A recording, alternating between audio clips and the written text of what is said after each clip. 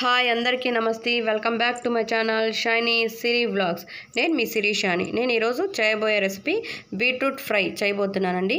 దాని తయారీ విధానం చూద్దామండి. నేను అరకిలో బీట్రూట్ తీసుకున్నానండి. ఇలా సన్న ముక్కలుగా కట్ చేసి కుక్కర్లో వేసుకొని ఉడికించుకుంటున్నానండి. ఇందులోకి నేను హాఫ్ స్పూన్ సాల్ట్ కాల్ టీ స్పూన్ పసుపు వేసుకుంటున్నానండి. అలాగే మనం one and half glass water పోసుకుందామండి. ఇప్పుడు వాటర్ పోసుకున్నాం కదండి one and half glass water. ఇప్పుడు కుక్కర్ క్లోజ్ చేసి పెట్టుకుందామండి. కుక్కర్లో చేస్తే మనకి తొందరగా బాయిల్ అవుతుందండి బీట్రూట్ అనేది.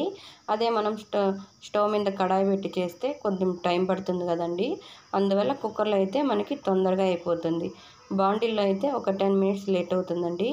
ఇప్పుడు ఓపెన్ చేసి చూద్దామండి.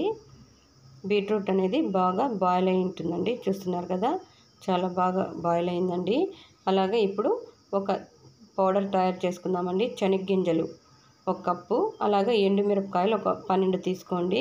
మిక్సీ ఇప్పుడు ఈ రెండింటిని మనము మిక్సీ పట్టి పక్కకు పెట్టుకుందామండి. చూస్తున్నారు కదా ఇలా పౌడర్ చేసుకోవాలండి మనము ఆ రెండింటిని. మనం ఇందులో కారపొడి వేయటం లేదండి.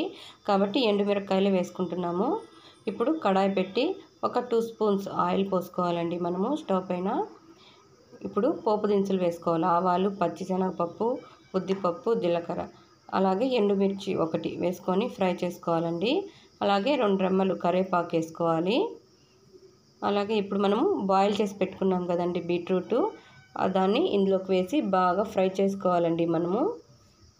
చూస్తున్నారు కదా? ఇలా తొందరగా అయిపోతుందండి మనకి బీట్రూట్ ఫ్రై అనేది. అలాగే మనం కచ్చా పచ్చాగా దంచి పెట్టుకోవాలండి తెల్లగడ్డ. దాన్ని కూడా ఇందులోకి వేసుకొని బాగా కలుపుకోవాలండి బీట్రూట్ని. మనకి చిన్నపిల్లలకి కూడా పెడితే చాలా మంచిదండి బీట్రూట్ మనందరికీ ఆరోగ్యానికి మంచిది.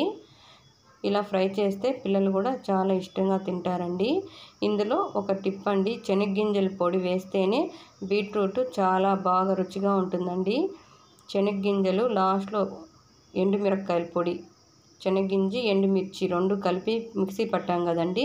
అది వేసి ఫ్రై చేయండి. చాలా టేస్టీగా వస్తుంది.